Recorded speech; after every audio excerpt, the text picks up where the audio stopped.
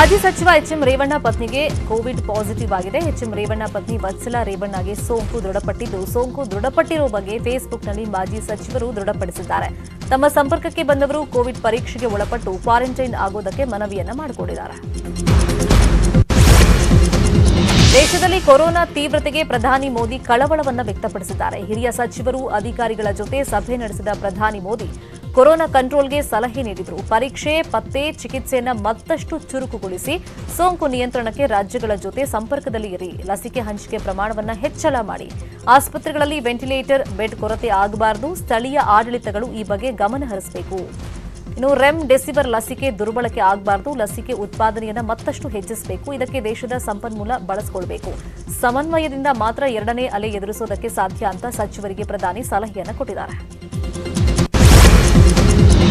ಬಾಗಲಕೋಟೆಯಲ್ಲಿ ಕೊರೋನಾ ಅಟ್ಟಹಾಸ ಭೀತಿ ಮೀರ್ತಾ ಇದೆ. ಆದರೂ ಜನ ಮಾತ್ರ ಎಚ್ಚೆತ್ತುಕೊಂಡಿಲ್ಲ. ಕೊರೋನಾ ಹಿನ್ನೆಲೆಯಲ್ಲಿ ಗುಂಪು ಸೇರಬೇಡಿ ಅಂತ ಪಿಎಸ್ಐ ಹೇಳಿದ್ದೇ ತಪ್ಪಾಗ್ಬಿಟ್ಟಿದೆ. ಪಿಎಸ್ಐ ಜೊತೆ ಮಾಜಿ ಶಾಸಕ ವಿಜಯಾನಂದ ಕಾಶ್ಯಪ್ಪನವರ್ ಬೆಂಬಲಿಗರು ವಾಗ್ವಾದಕ್ಕೆ ಇಳಿದಿದ್ದಾರೆ. ಇಳಕಲ್ ನಗರದ ಬಸವೇಶ್ವರ ವೃತ್ತದಲ್ಲಿ ಶರಣು ಶರಣಾರ್ಥಿ ಕಾರ್ಯಕ್ರಮದ ಜಾಥಾ ನಡೀತಾ ಇತ್ತು. ಗುಂಪು ಕೂಡಬೇಡಿ ಅಂತ ಪಿಎಸ್ಐ ಹೇಳಿದ್ದಾರೆ. ಇದಕ್ಕೆ ಕುಪಿತಗೊಂಡ ಬೆಂಬಲಿಗರು ಪಿಎಸ್ಐ, ಎಸ್ಪಿ ಪಾಟೀಲ್ರೊಂದಿಗೆ ವಾಗ್ವಾದಕ್ಕೆ ಇಳಿದಿದ್ರು. ಬಳಿಕ ಪಿಎಸ್ಐ ಬೆಂಬಲಿಗರ ಮೇಲೆ ಲಾಠಿ ಬೀಸಿದ್ರು. ಇದಕ್ಕೆ ವಿಜಯಾನಂದ ಕಾಶಪ್ಪನವರ್ ಬೆಂಬಲಿಗರು ಆಕ್ರೋಶವನ್ನು ವ್ಯಕ್ತಪಡಿಸಿದ್ದಾರೆ. ಮಂದಿಗೆ ಬಡಿತಾರನ್ರಿ ಇದೆಲ್ಲ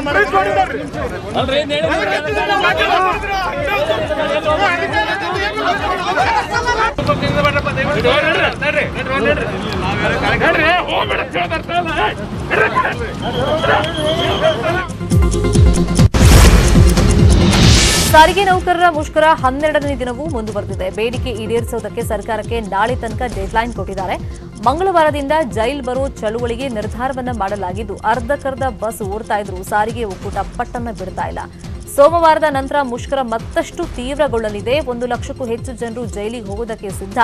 ಸಾರಿಗೆ ನೌಕರರ ಸಾವಿಗೆ ಸರ್ಕಾರವೇ ನೇರ ಹೊಣೆ. ಇಂತಹ ಸಮಯದಲ್ಲಿ ರಾಜ್ಯಪಾಲರು ಮಧ್ಯಪ್ರವೇಶ ಮಾಡಬೇಕು ಅಂತ ಕೋಡಿಹಳ್ಳಿ ಚಂದ್ರಶೇಖರ್ ಹೇಳಿದ್ದಾರೆ. ಅಲ್ಲದೆ ಸಾರಿಗೆ ಒಕ್ಕೂಟ ಮತ್ತು ಫೆಡರೇಷನ್ ನಡುವೆ ಜಂಗಿ ಕುಸ್ತಿ ನಡೀತಾ ಇದ್ದು, ಒಕ್ಕೂಟದ ಅಧ್ಯಕ್ಷ ಚಂದ್ರು ವಿರುದ್ಧ ಫೆಡರೇಷನ್ ಅಧ್ಯಕ್ಷ ಕಿಡಿಕಾರಿದ್ದಾರೆ. ಇನ್ನು ಮೈಸೂರಲ್ಲಿ ಕೆಎಸ್ಆರ್ಟಿಸಿ ನೌಕರರು ಸಾರಿಗೆ ಮುಷ್ಕರವನ್ನು ಕೈಬಿಟ್ಟಿದ್ದಾರೆ. ಸಾವಿರದ ಆರುನೂರಕ್ಕೂ ಹೆಚ್ಚು ಸಾರಿಗೆ ನೌಕರರು ಕರ್ತವ್ಯಕ್ಕೆ ಹಾಜರಾಗಿದ್ದಾರೆ. ಯಥಾಸ್ಥಿತಿಗೆ ಮೈಸೂರು ಗ್ರಾಮಾಂತರ ಬಸ್ ಸಂಚಾರ ಮರಳಿದೆ. ಶೇಕಡಾ ಎಪ್ಪತ್ತರಷ್ಟು ಕೆಎಸ್ಆರ್ಟಿಸಿ ಬಸ್ಗಳು ರಸ್ತೆಗೆ ಇಳಿದಿವೆ. ಮೈಸೂರು ಕೇಂದ್ರೀಯ ಬಸ್ ನಿಲ್ದಾಣದಿಂದ ಖಾಸಗಿ ಬಸ್ಗಳು ಹೊರ ನಡೆದು ಸದ್ಯ ಮೈಸೂರಿನ ಪ್ರತಿ ಜಿಲ್ಲೆಗಳಿಗೂ ಸರ್ಕಾರಿ ಬಸ್ಗಳ ಸಂಚಾರ ಆರಂಭ ಆಗಿದೆ. ಇನ್ನು ಐದು ಪ್ರಮುಖ ಸುದ್ದಿ ನೋಡೋದು ಬಾಕಿ ಇದೆ. ಬ್ರೇಕ್ ಆದ್ಮೇಲೆ. ಟೂರಿಸಂಗೆ ಮರಗಳ ಕಟಾವು ಹಿನ್ನೆಲೆಯಲ್ಲಿ ಪರಿಸರವಾದಿಗಳು ಬೀದಿಗೆ ಇಳಿದಿದ್ದಾರೆ. ಮೈಸೂರಿನ ಲಲಿತ್ ಮಹಲ್ ಪ್ಯಾಲೇಸ್ ಮುಂಭಾಗ ಪರಿಸರ ಬಳಗದಿಂದ ಪ್ರತಿಭಟನೆ ನಡೆಯಿತು. ಯಾವುದೇ ಕಾರಣಕ್ಕೂ ಮರಗಳನ್ನು ಕಡಿಬಾರದು. ಮೋಜು ಮಸ್ತಿಗಾಗಿ ಹೆಲಿ ಟೂರಿಸಂ ಆರಂಭಿಸಲಾಗಿದೆ. ಬೇರೆ ಕಡೆ ಹೆಲಿ ಟೂರಿಸಂ ಮಾಡಿ ಅಂತ ಮೈಸೂರಲ್ಲಿ ಪರಿಸರವಾದಿಗಳು ಒತ್ತಾಯ ಮಾಡ್ತಾ ಇದ್ದಾರೆ. ಅಲ್ಲದೆ ಮರ ಕಡಿಯೋದಕ್ಕೆ ಅರಣ್ಯ ಇಲಾಖೆ ಅನುಮತಿ ನೀಡಿದ್ರೆ ಕಾನೂನು ಹೋರಾಟದ ಎಚ್ಚರಿಕೆಯನ್ನು ಕೊಟ್ಟಿದ್ದಾರೆ. ಪತ್ನಿ ಜೊತೆ ಅನೈತಿಕ ಸಂಬಂಧ ಸಂಶಯ ಹಿನ್ನೆಲೆಯಲ್ಲಿ ಚಾಕು ಇರಿದು ಎಗ್ರೈಸ್ ಅಂಗಡಿ ಮಾಲೀಕನ ಕೊಲೆ ಮಾಡಲಾಗಿದೆ. ಬಾಗಲಕೋಟೆ ಜಿಲ್ಲೆ ಹುನಗುಂದ ತಾಲೂಕಿನ ಮರೋಳ ಗ್ರಾಮದಲ್ಲಿ ಘಟನೆ ನಡೆದಿದೆ. ಅಂಜೇ ಸಾಬ್ ಮುಲ್ಲಾ ಎಂಬಾತ, ಆಸಿಫ್ ತಹಶೀಲ್ದಾರ್ ಎಂಬಾತನನ್ನ ಕೊಲೆ ಮಾಡಿದ್ದಾನೆ.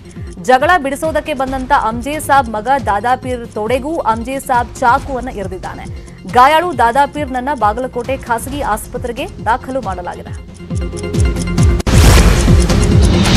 ಬೆಂಗಳೂರು ಟು ಟಾಲಿವುಡ್ಗೆ ಗೋವಿಂದಪುರ ಡ್ರಗ್ಸ್ ಲಿಂಕ್ ನಂಟಿದೆ. ನಿರ್ಮಾಪಕ ಶಂಕರೇಗೌಡ ಸಂಪರ್ಕದಲ್ಲಿ ಇದ್ದವರಿಗೆ ಖಾಕಿ ಡ್ರಿಲ್ ಮಾಡಿದ್ದು, ಉದ್ಯಮಿ ಪುತ್ರರು ರಾಜಕಾರಣಿಗಳ ಜೊತೆ ಸಂಪರ್ಕ ಇದೆ ಅಂತ ಹೇಳಲಾಗ್ತಾ ಇದೆ. ಶಂಕರೇಗೌಡ ಬೆಂಗಳೂರಲ್ಲಿ ಡ್ರಗ್ಸ್ ಪಾರ್ಟಿ ಆಯೋಜಿಸ್ತಾ ಇದ್ದು, ತೆಲಂಗಾಣದಿಂದ ಸೆಲೆಬ್ರಿಟಿಗಳನ್ನ ಉದ್ಯಮಿ ಪುತ್ರ ಕರ್ಕೊಂಡು ಬರ್ತಾ ಇದ್ದ. ಖಾಕಿ ಮುಂದೆ ಉದ್ಯಮಿ ಕಲಹರ್ ರೆಡ್ಡಿ ವಿಚಾರಣೆಗೆ ಹಾಜರಾಗಿದ್ದಾನೆ.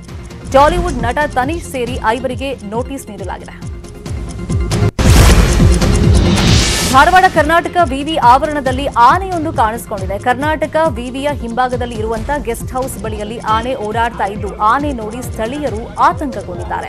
ಸ್ಥಳಕ್ಕೆ ಬಂದಂತ ಅರಣ್ಯ ಸಿಬ್ಬಂದಿ ಆನೆ ಪತ್ತೆಗೆ ಮುಂದಾಗಿದ್ದಾರೆ. ವಿವಿ ಕ್ಯಾಂಪಸ್ನಲ್ಲಿ ರಾತ್ರಿ ಯಾರು ಹೊರಗಡೆ ಬರಬಾರದು ಅಂತ ಅರಣ್ಯ ಇಲಾಖೆ ಅಧಿಕಾರಿಗಳು ಮನವಿಯನ್ನ ಮಾಡಿಕೊಂಡಿದ್ದಾರೆ. ಕಿರಿಯ ವಯಸ್ಸಿನಲ್ಲೇ ಕನ್ನಡಿಗ ಸಾಧನೆಯನ್ನ ಮೆರೆದಿದ್ದಾನೆ. ಉತ್ತರ ಕನ್ನಡ ಜಿಲ್ಲೆ ಕಾರವಾರದ ಕಾರ್ತಿಕ್ ಹೆಗಡೆ ಕಟ್ಟೆ. ಪ್ರಧಾನಮಂತ್ರಿ ಕಾರ್ಯಾಲಯದ ಉಪ ಕಾರ್ಯದರ್ಶಿಯಾಗಿ ಆಯ್ಕೆಯಾಗಿದ್ದಾನೆ. ಕ್ರಿಪ್ಟೋ ಕರೆನ್ಸಿ ನಿಯಂತ್ರಣದಲ್ಲಿ ಕಾರ್ತಿಕ್ ಹೆಗಡೆಕಟ್ಟೆ ಪರಿಣಿತರಾಗಿದ್ದಾರೆ. ಖ್ಯಾತ ಹೃದ್ರೋಗ ತಜ್ಞ ವಿಪಿ ಹೆಗಡೆಕಟ್ಟೆ ಮಗ ಕಾರ್ತಿಕ್ ಹೆಗಡೆಕಟ್ಟೆ ಮೂವತ್ಮೂರನೇ ವಯಸ್ಸಿನಲ್ಲೇ ಪ್ರಧಾನಮಂತ್ರಿ ಕಾರ್ಯಾಲಯದ ಉಪ ಕಾರ್ಯದರ್ಶಿಯಾಗಿ ನೇಮಕವಾಗಿದ್ದಾರೆ. ಅಂತಾರಾಷ್ಟ್ರೀಯ ನಿಯತಕಾಲಿಕೆಯಲ್ಲಿ ನಲವತ್ತೆಂಟು ವೈಜ್ಞಾನಿಕ ಪ್ರಬಂಧ ಪ್ರಕಟ ಬ್ಲಾಕ್ ಚೈನ್ ಕುರಿತಂತೆ ಹತ್ತು ಪುಸ್ತಕ, ಒಂದು ವೈಜ್ಞಾನಿಕ ಕಾದಂಬರಿಯನ್ನು ಬರೆದಿದ್ದಾರೆ. ಇದೆಲ್ಲವನ್ನು ಪರಿಗಣಿಸಿ ಪ್ರಧಾನಮಂತ್ರಿ ಕಾರ್ಯಾಲಯದಲ್ಲಿ ಹುದ್ದೆ ದಕ್ಕಿದೆ. ಇದು ಸದ್ಯದ ನ್ಯೂಸ್ ಅಪ್ಡೇಟ್ಸ್ ನೋಟಾರಿ ನ್ಯೂಸ್ ಏಟೀನ್ ಕನ್ನಡ. ಜಾಲ ನಮ್ಮದು ಬಲ ನಿಮ್ಮದು.